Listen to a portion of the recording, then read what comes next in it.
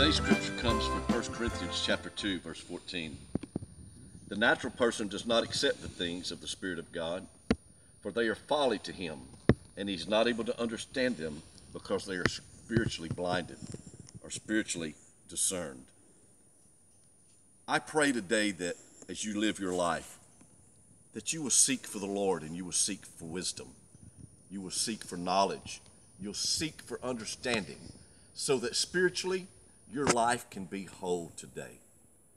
God promises us if we seek Him, we'll find Him. So, whatever you need in your life today, seek Him in His way. You be blessed today from the deer stand.